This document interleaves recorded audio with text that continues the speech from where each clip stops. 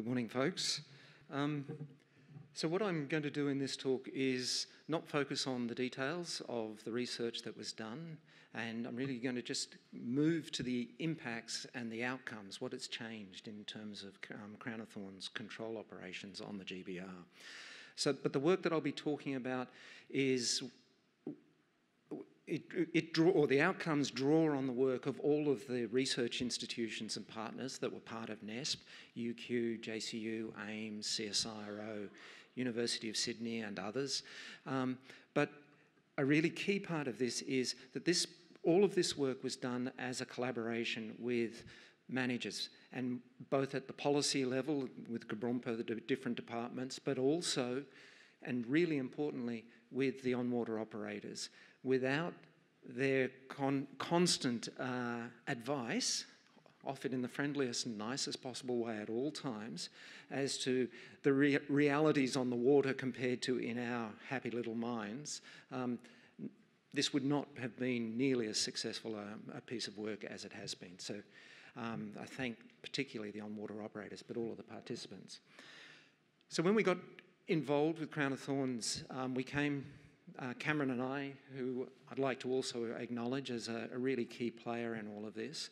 Um, Cameron and I came from the terrestrial realm and uh, we had no marine biology background, and so we came with a set of expertise around thinking about how you manage um, biological invasions.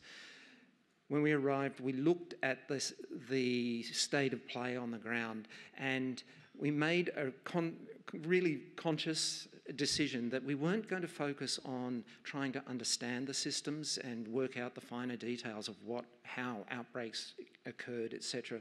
We we're going to try and focus on the applied question of how you imp would implement um, management. And we focused on manual control, and we did that because at the very outset, had a brief scan of what the potential future control um, opportunities or technologies, and there really was nothing that looked like it was on the horizon. So we made a decision that we're going to focus on manual control. And um, Luna, in her talk later this morning, will go into details about a much broader, more formal review of future technologies. But we did a quick and dirty to start off with and said we need to focus on manual control.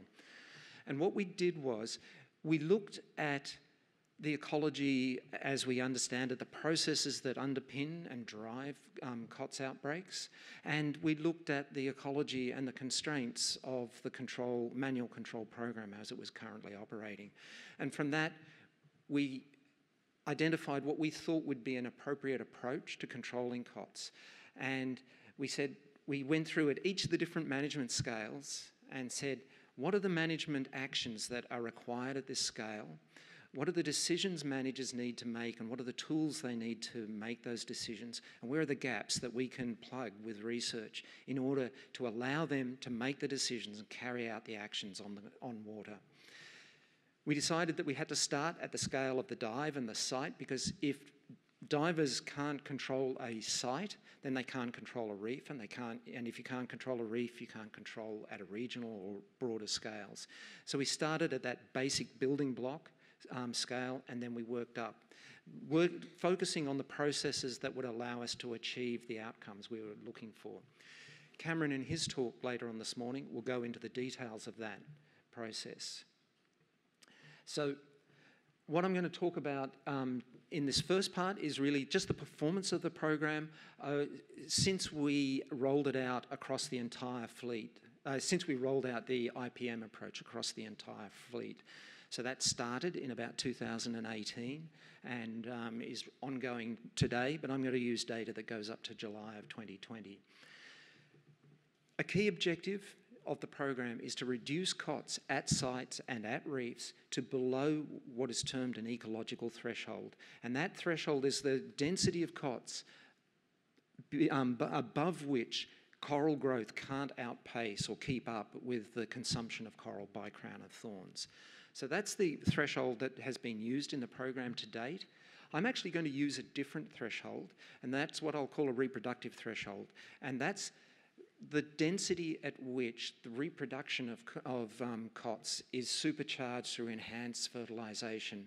And so, and the, essentially by focusing at that at that COTS density, what we're trying to do, we not only protect coral because it's a more stringent um, threshold, but we reduce the reproductive output, we hope, of a population. And the idea there is not only are we protecting coral, but we're reducing the downstream impact through um, recruitment at, at downstream reefs. So I'm using that as the threshold for measuring success of the program, um, simply because I think it's a better measure for us overall. Oops. Rightio. So how well has the program performed? So since 2000, late 2018, the program has operated um, in that time frame, 2018 to middle of last of 2020. Program had operated at 202 reefs, and oh, it's down here as well. At 99 of those reefs, um, initial manta tows assessed that the, the reef didn't require any culling. There was COTS densities were too low. 103 of those reefs required culls, and over that time period, at 89 of those uh, reefs, the density of COTS across the entire reef perimeter was reduced to below that reproductive threshold. 14 were still in progress at that time. Now, at those reefs, those 103 reefs, we opened up about 884 control sites. These are sites where dives were conducted to actually cull COTS, and in that time frame, we finished off 200, 624 of those sites. 260 were still in progress. So an individual site on average took about seven voyages in order to bring it down to below that reproductive threshold. The vast majority of sites actually required fewer than that, but there is a long tail there of recalcitrant sites where it was just really difficult to get rid of the COTS.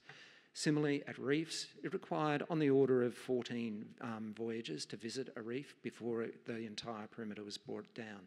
But there are some reefs which we just can't seem to uh, solve the problem at. So there's two, well, one reef in particular where I think we're up to over 50 voyages now and still going. But in general, it takes just a couple of voyages to bring a reef down to below the threshold.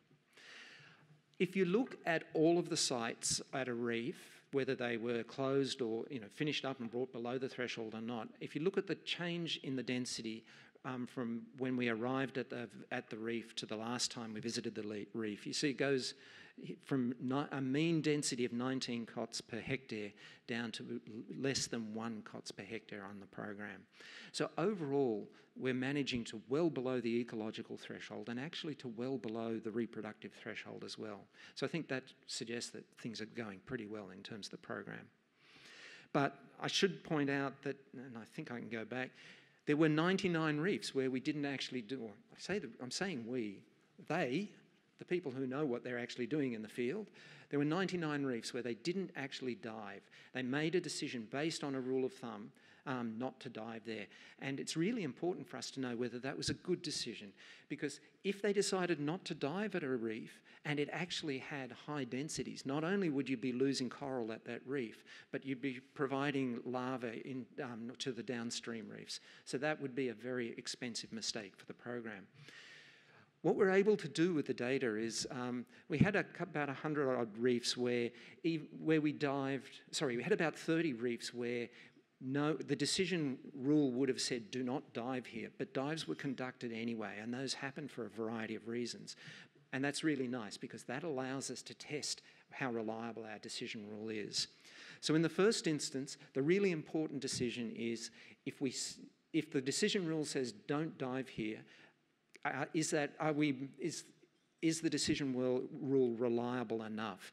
And from the 30 reefs where that, um, or 33 reefs, sorry, where we dived despite not needing to, what we found was 97% of those reefs did not require a dive. The COTS densities were well below the threshold. 3% of those reefs, it did require a dive. So that's telling us that that decision rule is reliable. It's 97% reliable. It's not perfect, but that's pretty good. The less expensive, the cheap um, mistake to make is that you dive at a reef when you don't need to. And what we found, what that bottom um, line and the, or section of the table is showing is that yeah we make that mistake quite often and the vessel operators will their blood pressure will rise when I say that's a cheap mistake and we can afford to make that to dive when we don't need to but from, it, from the control program perspective, in terms of outcomes, that's okay. We lose some investment, but for the operators, that's a waste of time and energy. So we essentially what we end up with is a pretty good balance, I think, from my perspective.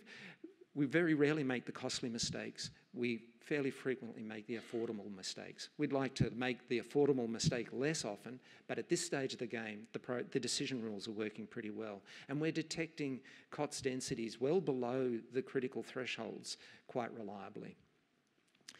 So one of the big things is the program's working well, but has it improved over what we were doing previously? If we look at the at COTS control since 2013 on the GBR, we can see we can identify three phases. There was a period from 2013 to 2015 where the control program was just going out and going gangbusters. They had 53 sites that at 21 um, focal, focal reefs. That's where they were intending to control COTS down to below threshold levels. But in reality, they had a, a bit of a focus on those reefs, but they distributed their effort essentially wherever high densities of COTS were reported.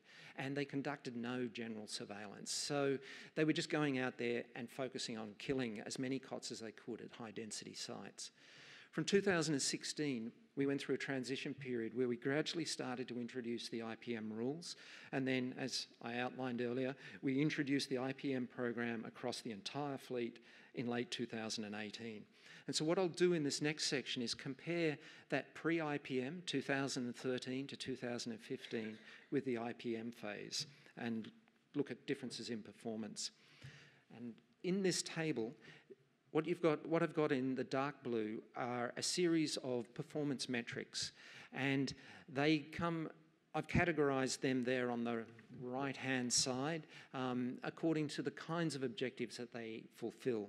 The top block of, of metrics are essentially metrics that are focused on ach achieving the maximum body count, killing as many COTS as possible.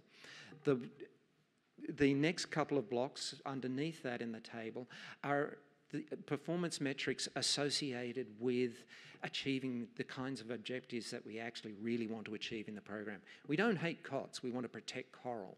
So our primary objective is not actually body count, maximising the body count, it's actually protecting coral.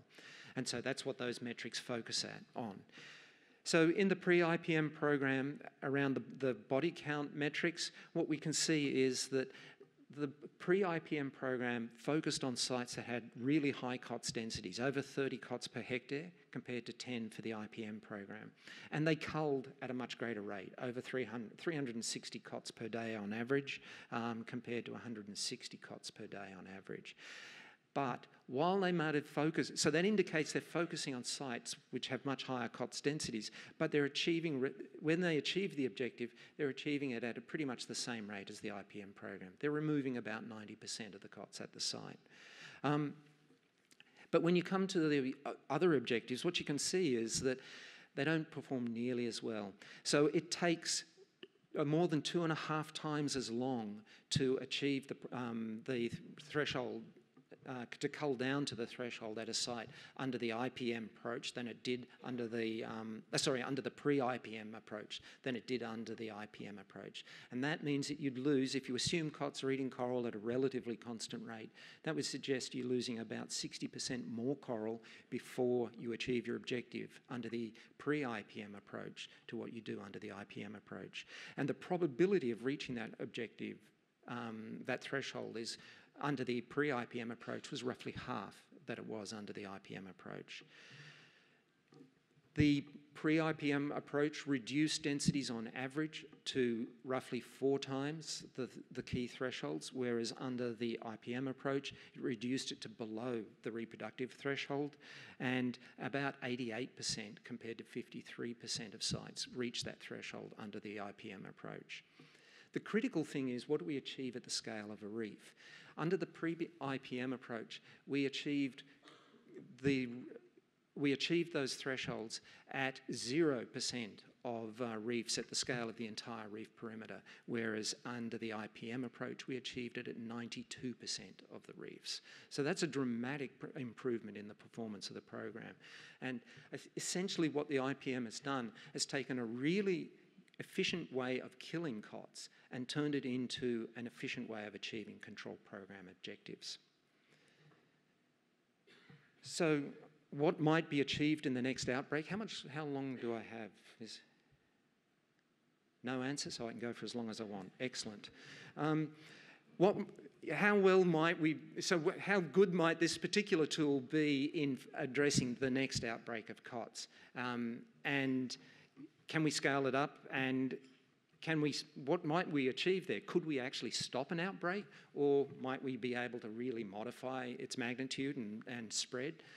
But we can use the data from the control program to have a look at that, a first pass at that. But to do that, we need to answer a couple of questions. And the first is, when do we want to start controlling the next outbreak? And I'm going to suggest that we want to do that before COTS densities reach that reproductive threshold because that's when it's going to be, the populations will be smallest, the reproductive output will be smallest. That's when we're likely to have the greatest impact. Where do we want to do that? History would tell us that we should focus on the initiation box. That's where we know the outbreak is, um, or it's where the outbreak has been first detected in the last four iterations. But we also know that uh, you know, if you look at the Vanhatalo data, it might actually have occurred a little bit further north. And even if, it, if that initiation box is where it always starts, um, in, invasion biology theory will tell us that actually we can't just focus on that outbreaking population, we need to focus on the area where it might be dispersing um, larvae to. And Sven Uthicke's data gives us an indication of how far those larvae might be spreading. It's not perfect, but it's a pretty, you know, it's a good start to um, giving us a scale of what that might look like. So we would say you need to focus your efforts in the, in the initiation box, but also on either side of the initiation box in what I'll call a dispersal box. This is, and those boxes are marked on that map there. And this is conveniently a really good place on the GBR for us to focus our activities because it's the area with the fewest reefs and the smallest reef area. So just physically, it's best scale to the, um, to the control program. So how, to, how might our efforts scale to the, the area that we'd be dealing with in that combined initiation and dispersal box? On average, over that um, period, 2018 to 2020, the a single, the average um, control vessel on the water worked at 23 and a half reefs. They towed about just under a thousand kilometres and they conducted culls at about 12 excuse me, at about 12 reefs and closed or su was successful at 11 of those. And they culled over about a thousand hectares. Um, if you, you can then multiply those numbers up by the number of vessels and then the number of years that you might expect that the outbreak would be resident within the initiation and outbreak boxes. And as you can see, they turn into quite large numbers. So we have a pretty, you know, the potential is pretty good. How does it scale to that um, initiation and dispersal box area? So here, I've, in terms of reef area, I've had to change the metric that I'm using. In that previous slide, I showed you the actual area controlled but we don't know what reefs are going to outbreak and what actual control would happen at the scale of the dispersal boxes. So what I've done is I've then translated that number into the mapped area of those reefs and extrapolated that so I could compare it with the initiation and dispersal boxes directly. And essentially what you can see there is there's 605 reefs in that combined initiation and dispersal box and over four year, over the four-year residency time, the control program would work at about 470 reefs. But they'd be managing an area, reef area, that is roughly twice what the reef area within the initiation and dispersal boxes, and a perimeter that's about two and a half times the perimeter that uh, was in those area in the initiation and dispersal boxes. It's a pretty simple extrapolation. It makes a lot of assumptions, but the take home message, I think, is that we should be really optimistic because the scale of the problem, if we catch it in that particular area, is not completely mismatched to the potential, the scale or the capacity of the program as it currently stands. So I think, just to summarize all of that, I think some of the key impacts that we've made in this, in this area is really to shift the focus away from the scientific questions, understanding the processes in, in all of their glorious detail, stuff that we still need to do at some point, but to really focus down and say, how can we actually meet this challenge here and now with the tools that are available? Um, so in this program, we've provided a really solid strategic operational foundation for COTS control going forward. And I think we can claim that we've transformed the way con COTS control operations um, are conducted on the GBR now. We've now got an efficient and effective means of, of uh, achieving our objectives. Um, a lot of one of the big complaints about manual control is that it's so expensive. And it's true, it is expensive.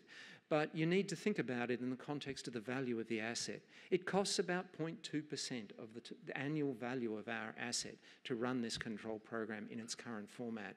And if, you don't, if you're not willing to invest 0.2% of the return on your asset per year, then you probably don't deserve to be, you know, to, to hold that asset.